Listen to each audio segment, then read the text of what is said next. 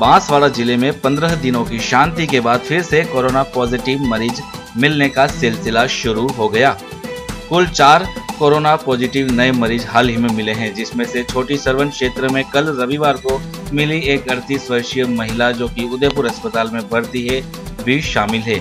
वहीं आज सोमवार को बांसवाड़ा शहर की बाहुबली कॉलोनी के दो एवं गढ़ी क्षेत्र का एक व्यक्ति भी कोरोना पॉजिटिव पाया गया। बताया जा रहा है कि गढ़ी क्षेत्र का व्यक्ति मुंबई से आया था और उन्हें जाँच में कोरोना पॉजिटिव पाए गए। वहीं बांसवाड़ा शहर की बाहुबली कॉलोनी में एक महिला एवं पुरुष जाँच के दौरान कोरोना पॉजिटिव पाए गए। अभी कोरोना का खतरा पूरी तरीके से टला नहीं है। हमें अभी और सावधानी की ज़रूरत है।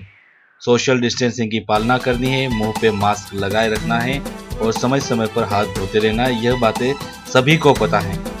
बिल्कुल भीड़ भरे इलाकों में नहीं जाना है, ना ही हमें भीड़ करनी है और भीड़ का हिस्सा बनना है। उम्मीद करते हैं आप इन सभी चीज़ों का ध्यान रखेंगे और कोरोना से अपना और अपनों का जीवन बचाएँगे। जगन्नाथ तेली के साथ मैं रवि राठौड़ गोल्डी, गोफन टीवी, बांसवाड़ा। दर्शकों, हमारे चैनल को सब्सक्राइब करके हमारा हौसला बढ़ाएँ और हम आप तक पहुंचाएँगे। खबरों की दुनिया से जुड़ी सभी लेटेस्ट अपडेट।